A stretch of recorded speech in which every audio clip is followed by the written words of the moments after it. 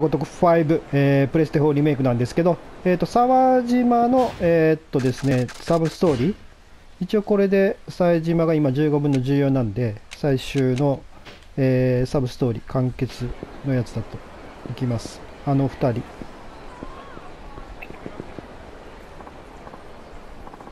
いやー、たまげた。ドリームラインとは、いやはや。業界内でそういう情報なかったんですか？全然観光例がよっぽどしっかりしてたんだね。いやはやさすがは勝谷社長。もしかして先輩がのけ者にされてるだけなんじゃ。あれこれ、こいつちゃうんこいつちゃうな。ごめん。こっちですわ。久しぶりよね。育ちは元気でやってるんやろか。少し立ち寄ってみるか。う、う、あれは育ち道場の道着。おい、しっかりせえや。何があったんや。う、う、変な連中が急に道場にやってきて、育ちさんが危ない。育ちが危ないすぐに道場に行かんと。どっちですね。育ちの方ですね。あの、さっきの2人は関係なかったです。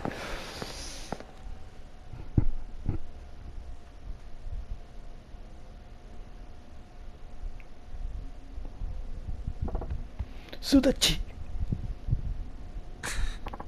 さ、冴島さん。ああ、そうや、俺や。どうしたんや、一体。あ、あいつらのせいです。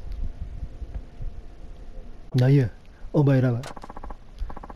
いきなりお前ら呼ばれては失礼な方ですね。まあいいでしょう。私はエンジェル不動産の金原と申します。不動産屋がこんなところに何の用や。しかもこいつらに怪我までさせて。簡単な話ですよ。我々はこの育ち道場が欲しい。それを育ちさんが断った。だから痛い目に遭っていただいた。それだけのことです。育ち道場が欲しい？はい。正確に言えばこの道場の場所と設備が欲しい。といったところでしょうか。こんなに立地が良くて設備も整っている物件はなかなかありません。昔から目をつけていたのですよ。我々この物件をそのままいただき、ここでジムを経営して一儲けしようと考えています。カムロ町の金持ち層をターゲットにした。ね。こんな寂れた道場を続けるより、ずっとカニになるのは間違いない。もちろん、ただでよこすとは言いません。育ちさんにもそれなりの金額をご提示させていただきました。だが、育ちさんは断った。だから実力行使に出たってことか。ほほほほ。まあ、そんなところです。本当は穏便に済ませたかったのですが、意外と頑固でバカな方なのですね、育ちさん。金の問題じゃない。ここは私にとって大切な場所なんだ。そんな理由で。ほう、まだ立ち上がる気力があったとは。弱いくせに根性だけはあるんですね。また痛い目に遭いたいんですか？これないね。おい。なんや、こいつらは。金原が雇った用心棒連中です。むちゃくちゃ強い上に武器まで持ってる。弟子たちもみんなこいつにやられちゃって。なるほどね。状況分かって。俺が相手になってやるわ。いえ、結構です。ここの育ち道場の道場主は私です。私が、私が私の手で守ってみせます。冴島さんとも以前約束したじゃないですか。この道場を潰さないって。私はダメな男です。弱い男です。でもね、大切な人との約束を破るほど腐っちゃいないつもりです。育ち。ここは今まで巣立っていた弟子のみんなや冴島さんとの思い出の場所です。思い出が詰まった一番大切な場所です。その場所をこんな連中の小金儲けのために明け渡すなんて絶対に嫌だ。かかってこい。育ち道場は私が守る。面白い。おい、お前ら、こいつら殺しちゃってもいいから手加減なしていけ。金も払わんでいいし、交通で。わかりましたよ、金原さん。おあ、いいですって。私が一人で守って。育ち、お前は何か勘違いをしとらんか？あ？か、勘違い？そうや、この道場がかけがえのない大切な場所だと思ってるのはお前だけやない。ここは俺にとっても弟子のみんなやお前との思い出が詰まった大切なかけがえのない場所なんや。さ、冴島さん。道場は道場主だけのものやで、道場を愛するみんなのもんやろ。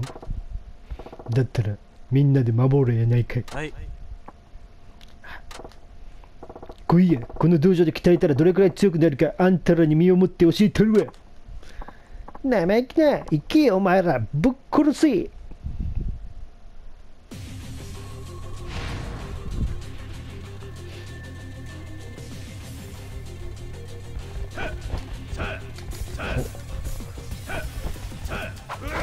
やべ、あの銃銃のやつやっつけた。この銃のやつ。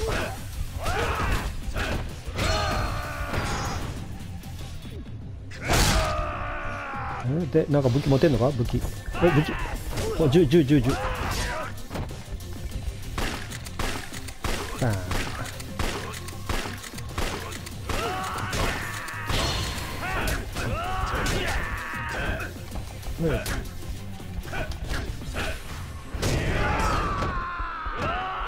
おい、あとは武器は？バットだけ。ああ、あれ、弱い。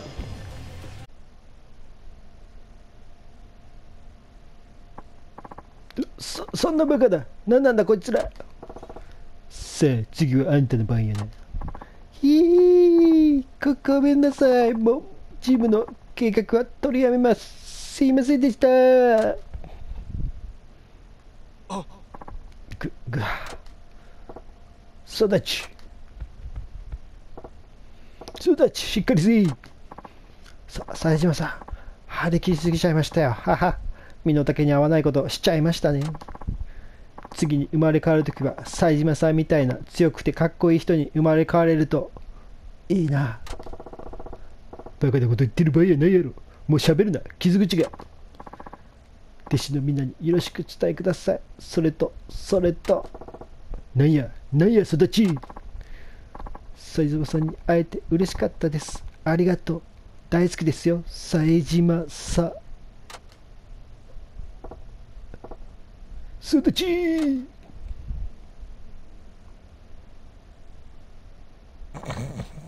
でしょ？寝てるだけで。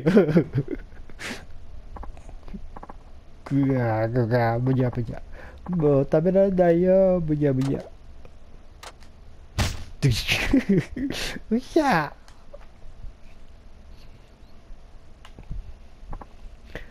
うわ冴島さんじゃないですか。おはようございます。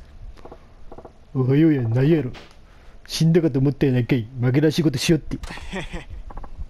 なんですね。嬉しいな。グフフフまったく元気そうやし。もう俺は帰るで。ほな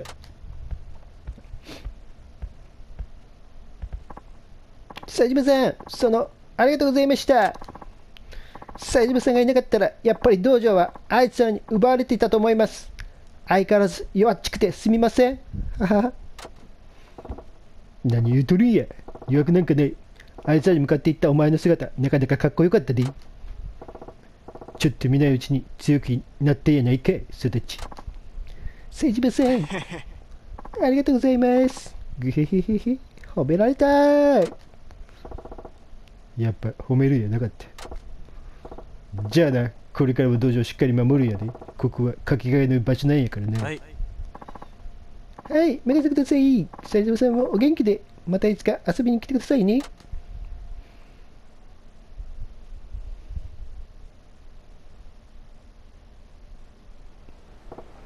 育ち、道場らしくなったもんやな。あれならきっとこれからも道場を守っていける。頼んだで、育ち。はい、ということで、あ、来ましたね、携帯が。コンプリート携帯。はい、サブストーリー、冴島達成、サブストーリーコンプリート、誠におめでとうございます。記念に景品をご用意させていただきました。